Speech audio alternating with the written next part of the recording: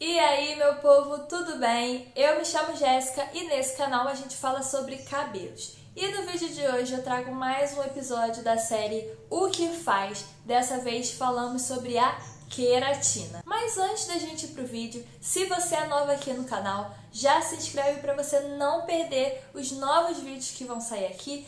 Deixa o like no vídeo que ajuda na divulgação e compartilha esse vídeo com suas amigas para elas conhecerem um pouco mais sobre a queratina. Ah, e se você não sabe, eu tenho um canal novo aqui no YouTube sobre tarô. Então, se você gosta desse assunto, gosta de saber as energias que estão favoráveis para você, corre lá. O link está na descrição do vídeo, mas vai depois desse vídeo, combinado? Lá você vai encontrar as leituras mensais e também atemporais para te ajudar aí na sua caminhada, tentar dar uma facilitada no seu dia a dia. Agora, voltando para o vídeo, a queratina, ela divide opiniões aí, tem muita gente que foge dela porque tem medo de usar e tem gente que ama. É verdade que a queratina precisa ter um cuidado ali na hora de usar, não pode exagerar porque ela pode enrijecer a fibra e gerar quebra, mas ela é super importante. Afinal, você sabia que seu cabelo é constituído quase 100% de queratina? É, minha gente,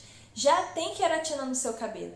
Mas conforme o cabelo sofre agressões aí no dia a dia, agressões químicas, é necessário repor essa queratina. E o que, que é a queratina? Ela é uma proteína formada por vários aminoácidos e ela pode ser tanto vegetal, como a gente tem encontrado aí já com esse boom de produtos veganos, quanto a animal. A animal a gente vai encontrar como hidrolisete queratin, não sei falar direito, mas está aqui o nome para vocês verem.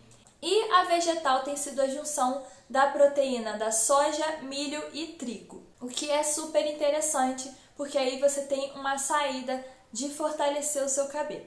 Aliás, é essa a função da queratina, ela vai dar resistência para o seu cabelo, repor massa, fortalecer. É um ingrediente super importante porque ela entra na etapa de reconstrução capilar.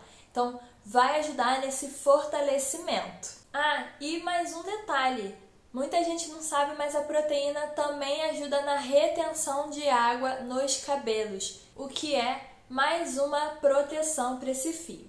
E aí, você sabia de tudo isso sobre a queratina? A gente sabe que tem que dar uma dosada, mas ela é essencial de ser usada.